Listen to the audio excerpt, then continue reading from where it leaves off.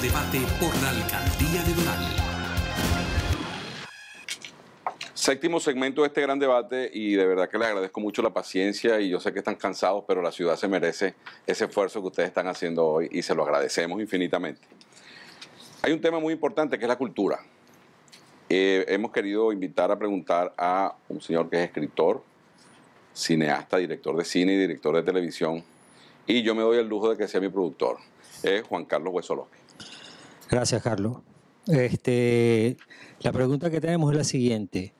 Muchas ciudades en el mundo se identifican por un evento en particular.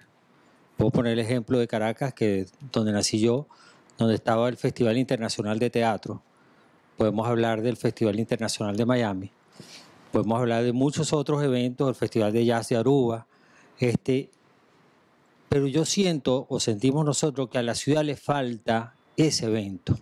¿Qué piensan ustedes hacer para resaltar la ciudad a través de la cultura, el deporte o cualquier manifestación artística? Gracias, Juan. Juan Carlos Bermúdez. Bueno, creo que es una buena pregunta, eh, Juan Carlos. Yo creo que definitivamente eh, una ciudad tan joven como esta tiene una oportunidad en, en, sí. Lo más conocido era el torneo de golf, que desafortunadamente lo perdimos.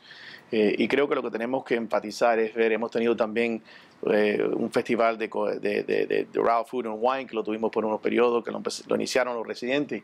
Yo creo que tenemos que combinar, eh, y siempre he dicho que eh, Dios me dio el lujo de ser el primer alcalde de la ciudad más diversa, el condado más diverso, la, ciudad más diversa, el condado más diverso, el estado más diverso, en la nación más diversa del mundo. Y creo que es una buena sugerencia y creo que es muy importante enfatizar esas oportunidades culturales.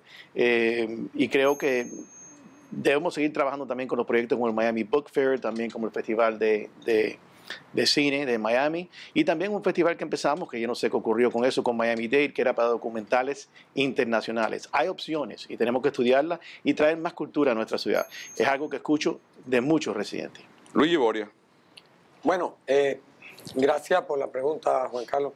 Eh, nosotros sí hemos sido proactivos en todo lo que tiene que ver el arte y la cultura de hecho, nosotros trajimos a la ciudad, personalmente nos tomó casi año y medio traer el arte en zonas públicas, porque pensábamos que una ciudad sin arte era una ciudad sin corazón.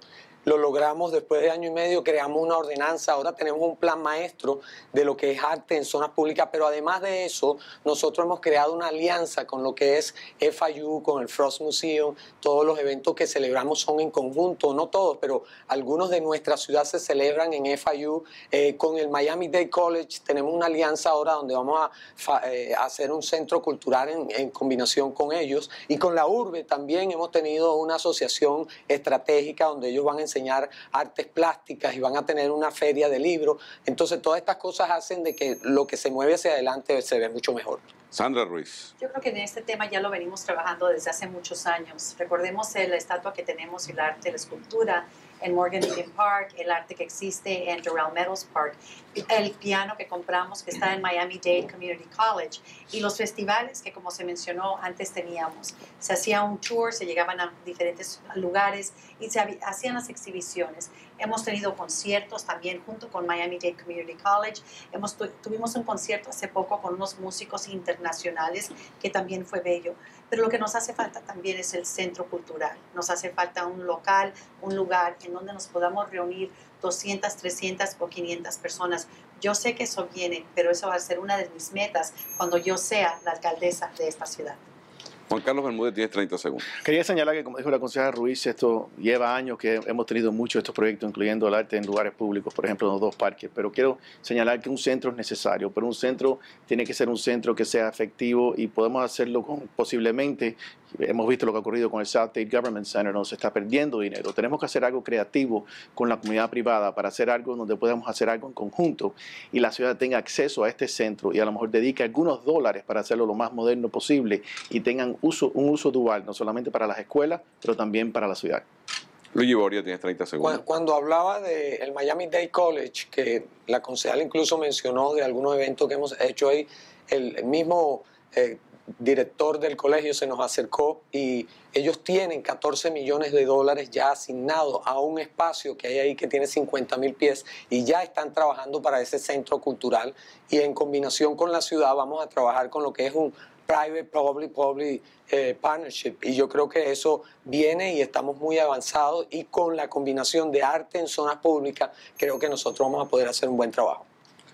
Bueno, me parece que, que ah, están eh, defendiendo una gestión, pero me hubiese gustado eh, escuchar más planes al futuro y quiero darles un minuto a cada uno para ver si podemos sacarle a ustedes, por ejemplo, que van a construir un teatro, que van a hacer una casa de la cultura, que van a hacer festivales de voz estudiantil, por ejemplo. Juan Carlos Bermúdez. Bueno, yo creo que construir un teatro es algo que es una buena idea mientras y cuando sea consistente posiblemente con otra institución o con la comunidad privada. Eh, claramente el estudio del Adrian Arts Center, que es mucho más grande, pero también el South State Government Center indica que los centros culturales solamente eh, donde la ciudad o incluso una área eh, son los dueños pierden dinero. Y yo creo que es muy importante ser responsable fiscalmente. Se puede hacer, lo que hay que ser creativo y hay que trabajar con o una entidad privada o una escuela o un colegio o una universidad. Y creo que eso es lo que debemos enfatizar, poner recursos nuestros para mejorar algo que se está haciendo, donde la ciudad pudiera tener control de ese sitio X número de días al año para proyectos de la ciudad.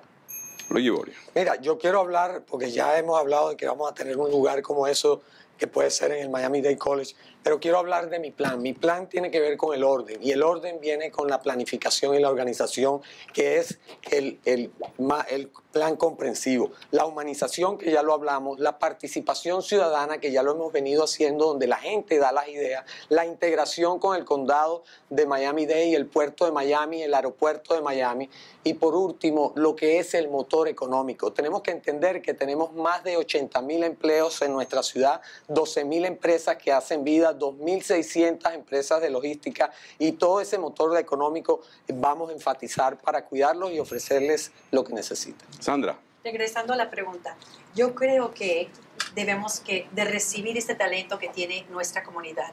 No es solamente el deporte, el tenis, el fútbol. Aquí hay música, hay teatro. Tenemos a, al talento con Talín Arias y su escuela. Ella se tiene que ir a, a FIU o a Miramar cuando trae sus obras, que realmente son muchos de los padres y niños de la ciudad de Doral. Entonces yo creo que aún esta ciudad le debe a la ciudad de Doral, a sus residentes, un teatro y un centro cultural. Perfecto, si no tienen más, tienen 30 segundos, si no, vamos entonces a irnos a un corte comercial y vamos a hacer entonces el octavo y último segmento de este gran debate. Ya regresamos, amigos, no se vayan.